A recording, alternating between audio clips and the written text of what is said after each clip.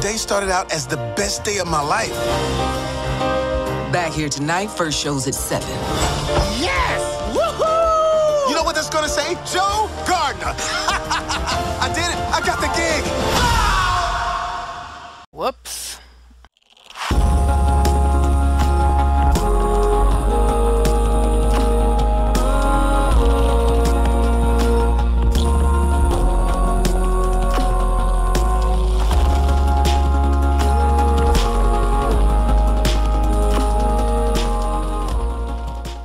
Tonight we are reviewing Soul.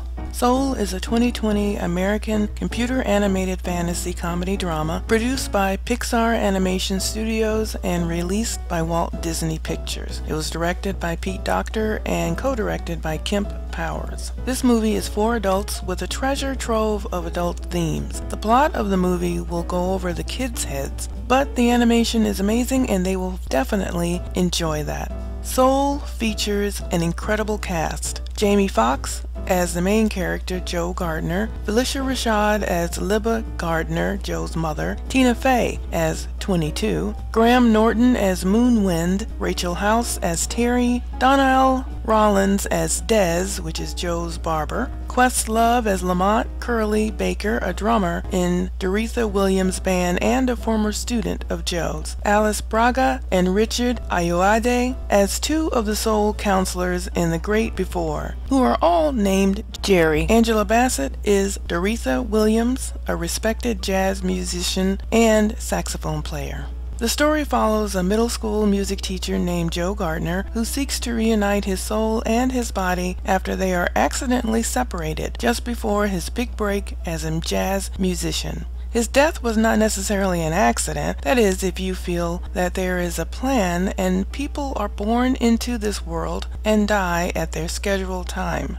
He did die, but he became what is often referred to as a lost soul because he refused to accept that it was his time to die. This theme is most notably depicted in the 1978 movie Heaven Can Wait with Warren Beatty, where the main character is in an accident and is sent to a waiting station before moving on to the next level, aka heaven. In this movie, he tries to convince his guides that he's not meant to be there.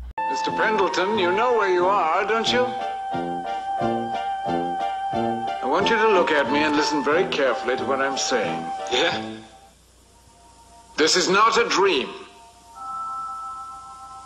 You trying to tell me I'm not supposed to be here? But you are here. Well, you guys made a mistake. There is no mistake. Well, anybody can make a mistake. Same case here. Incidentally, both main characters in each movie are named Joe. Coincidence?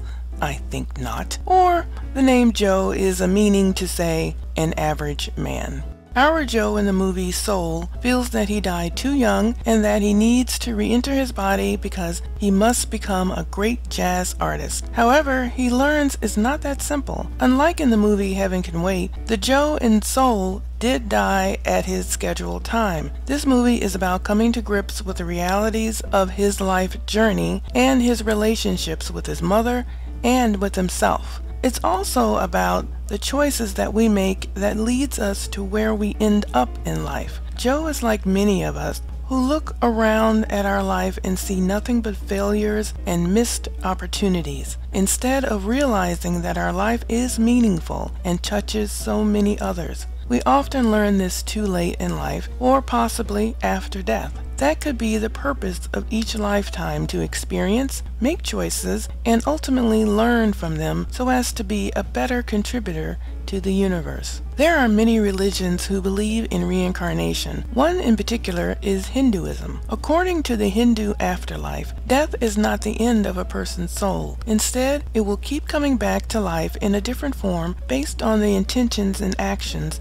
of that soul during their life on earth. Hindus believe that the cycle of life and death is part of a journey that should ultimately lead to the soul's salvation and oneness with God. To achieve this salvation, the soul must rid itself of all of its selfishness and bad intentions. After enough cycles, a soul should reach ultimate salvation called moksha, where the soul unites with the One or the universe, and is free of the life and death cycle.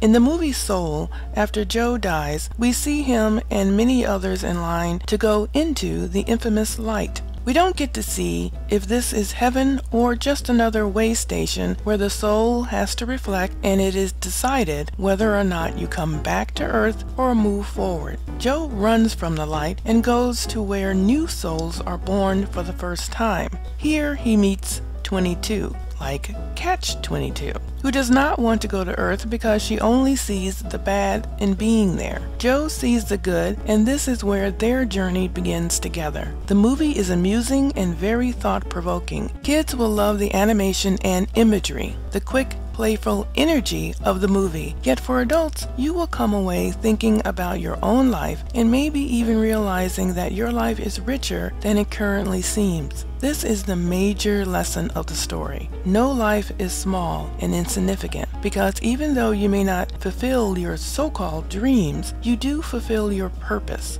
which could be to inspire others to fulfill their purpose. Purpose and Dreams are two completely different things, as we learn in the movie. We all have a part to play, and every part is as substantial as the other. Soul is an astounding movie. I feel one of the best that has been put out by Disney in a long time. It's a movie you may want to watch again and again to get the hidden messages inside of it. Kids will watch it now, and as they grow, watch it again and get more understanding from it. I highly recommend watching Soul and adding to your collection. Thank you so much for watching. How did you like the movie Soul? What lessons and messages did you deem from the movie? Did your kids like it? Thanks again for watching and please hit the subscribe button to get more insightful reviews on new, current, classic, and hidden gem movies.